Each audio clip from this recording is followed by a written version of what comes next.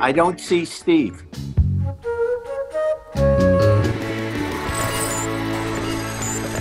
Hey, Steve. Hey, Jerry, how are you?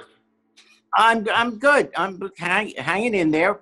I can't say it's too tough down here in Florida, but uh, we're staying at home like everybody else. Rachelle was reminding me of the story when we talk about working out was when you were going to do your movie Ringmaster. Yeah.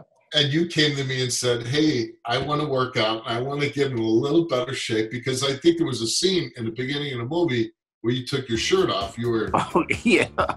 So oh, you- that'll drive people to want to see it now. Well, if you haven't seen Ringmaster, now's the time to see it. so, yeah. You came to me and said you wanted to work out. Well, the next day we were taping a show, and I, I'm sure you remember this. I went down to break up two girls fighting. And I felt like somebody shot me. And Oh, I tore my groin. oh And during gosh, yeah.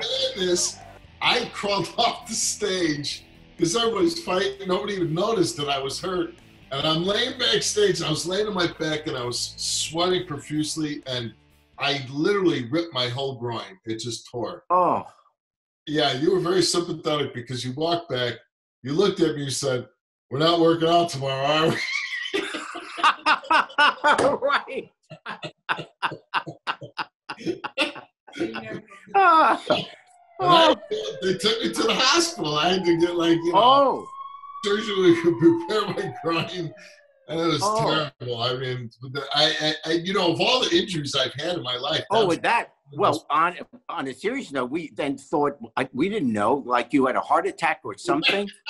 I mean, Rachelle, you were at that point dating, not uh, you know, not married yet. Yeah, she was in tears. yeah, that was pretty. It was it was weird because I didn't know what happened. I literally Yeah. thought somebody in the crowd had a rifle and picked me up. I think you were the only one that ever got hurt on our show.